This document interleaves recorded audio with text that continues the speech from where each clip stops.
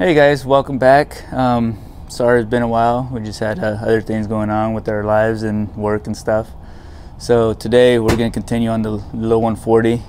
Uh, we're going to pretty much just start from forward back, uh, start assembling the, the pedals, uh, close up the skins and uh, all the structural stuff, just rivet it on and you know go from there. Hopefully we don't find anything that's going to slow us down. So uh, we'll keep you up to date and throughout the whole process. Thank you.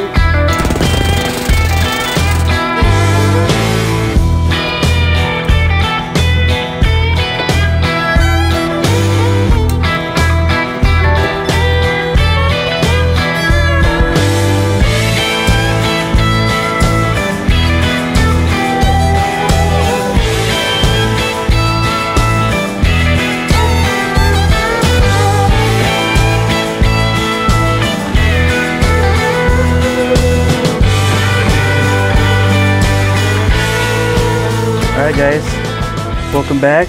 We uh, had a successful little, um, uh, I guess, uh, belly install.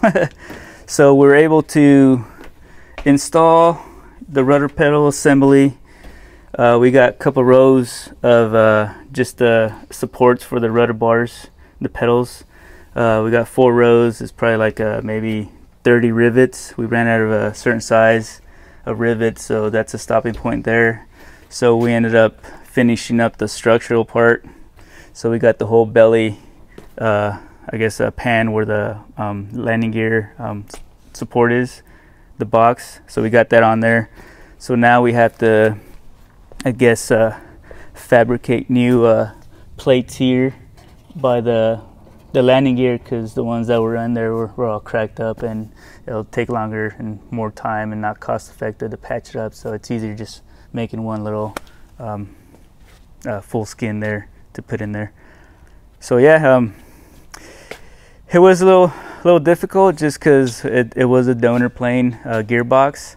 They pretty much all lined up. It's just you know we had to you know maneuver here and there and then you know Cleco maneuver rivet stuff like that and it all lined up uh, perfectly still. So, like I said, uh, all we got to do is just uh, the end caps for that gearbox for the uh, gear legs, and finish up the several rivets for the the rudder bar. Uh, I mean the rudder pedals. And after that, uh, next time probably you'll see us putting up the, the landing gear and some tires. We could roll around and either finish up the tail or another project. If you have any comments, let us know. Or if you guys are wanting us to go back to the Comanche 180, uh, continue that one if you guys want some more uh, info on that one. We also got another uh, Comanche uh, um, fuel bladder we can install, so we could do some videos on that if you guys are interested. So yeah, just uh, drop us a comment or and you know don't forget subscribe. We're always appreciative of that, guys. Thank you.